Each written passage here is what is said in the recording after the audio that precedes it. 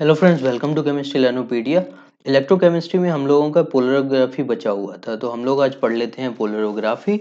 अगली वीडियो में हम लोग पोलरोग्राफी से रिलेटेड प्रीवियस ईयर के क्वेश्चन करेंगे। सो so, पोलरोग्राफी को सबसे पहले किसने इन्वेंट किया? जे हेरोस्की ने। किसने किया? J Heyrovsky so polarography first invented by Jaroslav Heyrovsky in 1922 और इसके लिए इन्हें 1959 में नोबेल प्राइज भी दिया गया। अब आगे चलते हैं अपने नेक्स्ट कि पोलरोग्राफी होता क्या है। तो जनरली अगर हम लोग इलेक्ट्रोकेमिकल सेल की बात करें तो इलेक्ट्रोकेमिकल सेल में एक थ्री इलेक्ट्रोड सिस्टम होता है। कितना होता है? थ्री इलेक्ट्रोड सिस्टम जिनमें क्या क्या होता है? ऑक्सिलरी इलेक्ट्रोड होता है रेफरेंस इलेक्ट्रोड होता है एंड वर्किंग इलेक्ट्रोड होता है। अब क्या है कि वर्किंग इलेक्ट्रोड सेल पर डिपेंड करता है सेल चेंज करते हैं हम लोग का वर्किंग इलेक्ट्रोड चेंज होता रहता है।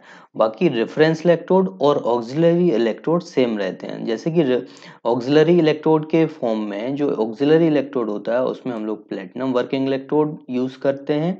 रेफरेंस इलेक्ट्रोड में कैलोमल इलेक्ट्रोड यूज़ कर सकते हैं या फिर ए जी ए जी सी एल ये आप लोगों के पास सेचुरेटेड कैलोमल इलेक्ट्रोड और ए जी ए जी सी एल इलेक्ट्रोड है। ये दोनों रेफरेंस इलेक्ट्रोड की तरह बिहेव कर सकते हैं, लेकिन यहाँ पे हम लोग पढ़ रहे हैं पोलरोग्राफी पोलरोग्राफी में रेफरेंस इलेक्ट्रोड की तरह कैलोमल इलेक्ट्रोड को यूज़ किया जाता है, जबकि वर्किंग इलेक्ट्रोड क्या होता है? इसमें dropping mercury electrode dropping mercury electrode किसकी तरह बिहेव करता है?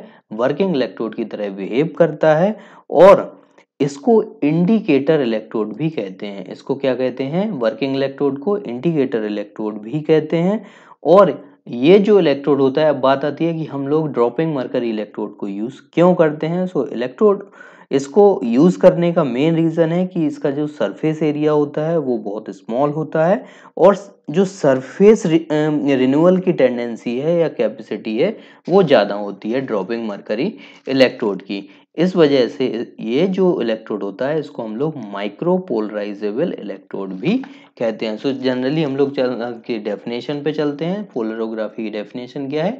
Polarography is a type of voltammetry where the working electrode is dropping mercury electrode और a mercury drop electrode which are useful for their wide cathodic range and renewable surface इनकी जो cathodic range होती है, वो बहुत ज़्यादा होती है और इनमें रिन्यूएबल सरफेस जैसे मरकरी क्या होता है लिक्विड होता है ना तो जब वो ड्रॉप बाय ड्रॉप आता है, इसका जो ड्रॉप टाइम होता है, वो लगभग दो से पाँच सेकंड के बीच में होता है।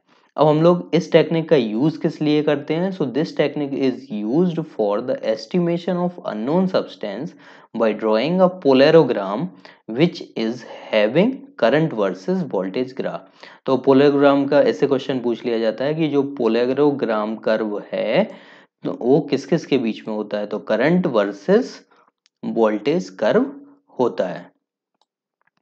चलते हैं नेक्स्ट स्लाइड की तरफ़।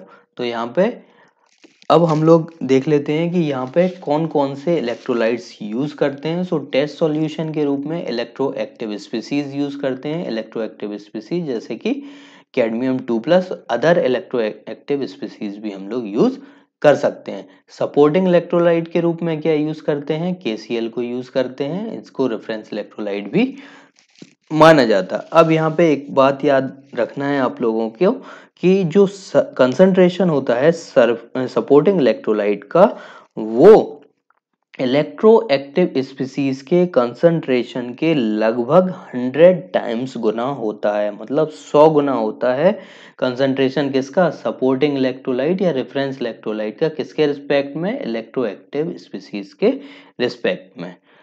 जैसे जैसे हम लोग कैडमियम टू प्लस का कंसंट्रेशन जैसे लिखा हुआ है कि C D two plus goes from bulk to electrode surface and gets deposited जो कैडमियम टू प्लस है इलेक्ट्रोएक्टिव स्पीसीज है, वो बल्क से किसकी तरफ़ जाता है? इलेक्ट्रोड सरफेस की तरह और उस इलेक्ट्रोड पे डिपॉजिट हो जाता है। इनके एक फ़िज़िकल मीनिंग है सी नॉट बल्क कंसंट्रेशन को। हम लोग ये इलेक्ट्रोएक्टिव स्पीसीज की कंसंट्रेशन को किससे डिनोट करेंगे? सी नॉट से। और जो इलेक्ट्रोड सरफेस है, उसके कंसंट्रेशन को किससे रिप्रेजेंट करेंगे? सी से रिप्रेजेंट करेंगे।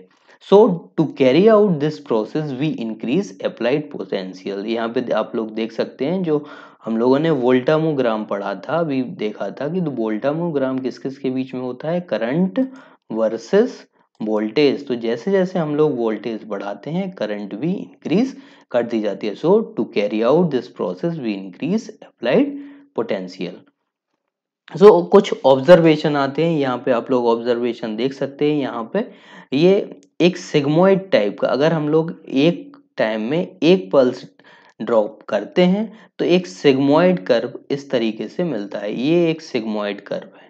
This is a sigmoid curve फिर से पल्स ड्रॉ की, फिर से एक सेगमोइड कर्व मिला। तो जैसे जैसे हम लोग पोटेंशियल अप्लाई करते हैं तो यहाँ पे डिफरेंट डिफरेंट सिग्मोइड कर्व मिलते हैं और ये एक एडिशनल प्रॉपर्टी होती है। अगर हम लोगों ने एक ही बार यूज़ किया है पोटेंशियल एक शॉर्ट रेंज तो उसमें केवल एक सिग्मोइड कर्व मिलेगा। तो अब इनके मीनिंग को समझ लेते हैं और इनमें कौन कौन सी करंट फ्लो होती हैं, उनको भी हम लोग समझ लेते हैं। तो यहाँ पे आप लोग देख सकते हैं कि initially almost constant current is observe यहाँ पे आप लोग देख सकते हैं, एक कांस्टेंट करंट ऑब्ज़र्व कर रहे हैं हम लोग और इस कांस्टेंट करंट को नाम क्या देते हैं? Residual current after a certain value of V after a certain value the current rises suddenly current कैसा है? Current rises suddenly certain value of V current rises suddenly. It shows that the process of deposition of cadmium 2 plus has been started. ये जो increment हो रहा है, इस, ये क्या बता रहा है कि जो कैडमियम 2 प्लस इलेक्ट्रोएक्टिव स्पीसीज है, उसका डिपोजिशन इलेक्ट्रोड पर होना स्टार्ट हो गया है that means the concentration moves towards moves towards bulk to electrode surface यानी सी नोट से सी की तरफ़ जा रहा है।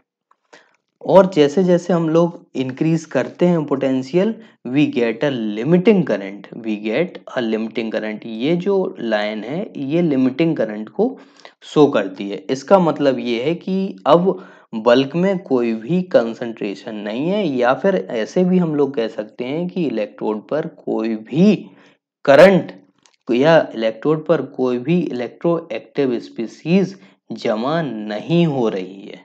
तो क्या आ गई? वो लिमिटिंग कंडीशन हो गई। तो लिमिटिंग कंडीशन ये जो बॉर्डर है ये लिमिटिंग कंडीशन है। और जो लिमिटिंग कंडीशन होती है तो यहाँ पे देखिए कौन सी करंट थी? यहाँ पे रेजिडुअल करंट थी। और यहाँ पे जो करंट होती है वो कौन सी करंट होती है? डिफ्यूजन करंट होती है। सो so, जो लिमिटिंग करंट है लिमिटिंग करंट किसके बराबर हो जाती है? Residual current plus diffusion current so the और डिफ्यूजन करंट की वैल्यू किसके बराबर होती है? यहाँ पे हम लोग डिफ्यूजन करंट जो रेजिडुअल करंट है, इसको नेग्लेजिबल मान लेते हैं जनरली और डिफ्यूजन करंट को ही हम लोग कंसीडर करते हैं। So the diffusion limited plateau current ID is proportional to the concentration of the electroactive substrate और bulk concentration. That is id is equal to k C naught यहाँ पे सी note क्या है? बल्क का कंसंट्रेशन है। Very important equation है। इस पर बेस्ड भी क्वेश्चन पूछे जाते हैं। जब हम लोग क्वेश्चन करेंगे तो इस इक्वेशन को अप्लाई करेंगे। ठीक है? तो यहाँ पे इतना हम लोगों ने समझ लिया है। अब यहाँ पे जब हम लोग इक्वेशन की बात करते हैं तो किस तरीके से हम लोग पोटेंशियल देते हैं? तो मान लीजिए हमारे पास कोई ऑक्सीडाइज स्पीसीज है, उसमें से इलेक्ट्रॉन एडिशन इलेक्ट्रॉन ट्रांसफ़र हो रहे हैं और वो क्या रिडक्शन स्टेट में पहुँच रहा है या रिड्यूस स्टेट में पहुँच रहा है। So the polarographic wave follows equation below where K oxidise constant and K for reduced constant are the mass transfer coefficient of two species and this is given by this equation. For irreversible, this is given by this equation where k conventional is the rate constant for electron transfer at potential of the reference. Hence electrode. Okay. So this is all about. Now come to the Ilkovic equation very very important equation इस पर based भी question पूछे जाते हैं, या इसमें एल्कोविक equation पर based जो इनके मीनिंग्स हैं, जैसे एन डी एम टी ये सब चीज़ें पूछ ली जाती हैं और इनके कोफिशियंट भी पूछ लिए, इनकी यूनिट भी पूछ ली जाती हैं। सो एल्कोविक इक्वेशन क्या है? Ilkovic equation is a relation use in polarography relating the diffusion current and the concentration of the depolariser depolariser कौन है यहाँ पे? जो इलेक्ट्रोड है वो which is the substance reduced और oxidised dropping mercury electrode the Ilkovic equation has the form I D is equal to K N D की power one by three M की power two by three T की power one by six C very very important equation Ilkovic equation where N क्या है? Number of electron transfer के एक constant है. Maximum current के लिए के की वैल्यू 708 और एवरेज करंट के लिए 607 होती है।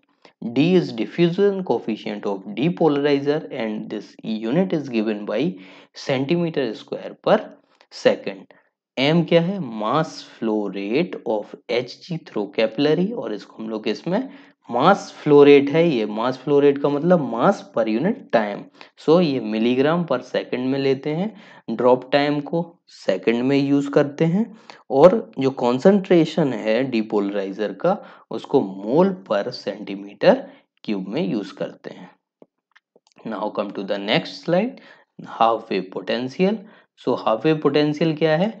हाफ़ वेव पोटेंशियल जो डिफ्यूज करंट होता है उसका आधा मतलब डिफ्यूजन करंट का आधा अगर हम लोग कर देंगे और वहाँ से हम लोग अगर पोटेंशियल की वैल्यू मेजर करेंगे तो वो पोटेंशियल हमें मिलेगा, वो हाफ़ वे पोटेंशियल कहलाएगा so half wave potential is a potential at which polarographic wave current is equal to one half of diffusion current that means I is equal I is equal to I I D by two and E half is characteristic property of a species अगर हम लोग species को change कर देंगे तो E e half की value change हो जाएगी। टेम्परेचर चेंज कर देंगे तो ई e हाफ़ की वैल्यू चेंज हो जाएगी। कॉन्सेंट्रेशन सपोर्टिंग इलेक्ट्रोलाइट का चेंज कर देंगे तो ई e हाफ़ की वैल्यू भी चेंज हो जाएगी। यहाँ से आप देख सकते हैं, यहाँ पे एक ही पल्स डाली हुई है तो एक सिग्मोइड कर्व मिला। और सिग्मोइड कर्व ये जो वैल्यू बता रही है, ये क्या है? रेजिडुअल करंट यहाँ पे ये जो वैल्यू आ रही है, ये वाली देखिए, ये ये डिफ्यूजन करंट को बता रहा है और ये जो लाइन है वो किसको बताती है? लिमिटिंग करंट को। तो यहाँ से जो लिमिटिंग करंट है, या ये जो लिमिटिंग करंट होगी, ये टोटल लिमिटिंग करंट है, किसके बराबर होगी? आई आर रेजिडुअल करंट और ये है पूरा डिफ्यूजन करें, ये डिफ्यूजन वाला पोर्शन है। So I L is equal to I R plus I D हो जाएगा और आई डी का क्या करना है? हाफ़ कर देना है और जिस पोटेंशियल पे ये कट करे, वो पोटेंशियल हाफ़ वे पोटेंशियल हो जाता है। And this equation is given by E applied is equal to E half minus zero point zero five nine one upon N log I upon I D I upon I D minus I इस equation से हम लोग question देते हैं। ये overall एक साथ है। I upon I D minus I ये एक साथ है। ठीक है? जहाँ पे जो आई है ये स्मॉल आई होगा। ये गलत छप गया है। यहाँ पे क्या होगा? स्मॉल आई होगा। तो ये ओवरऑल जो आई है ये क्या है? वेरिंग करंट है। ठीक? सो so, ये था हमारा पोलेरोग्राफी। तो इसमें जो इम्पोर्टेंट थिंग्स हैं, वो है एल्कोविक इक्वेशन में डिफ्यूजन करंट क्या होता है। अगर ये हम लोग इन सबको कांस्टेंट कंसीडर कर लें तो आईडी किसके कंसंट्रेशन के बराबर हो जाएगा? डीपोलराइजर के कंसंट्रेशन के।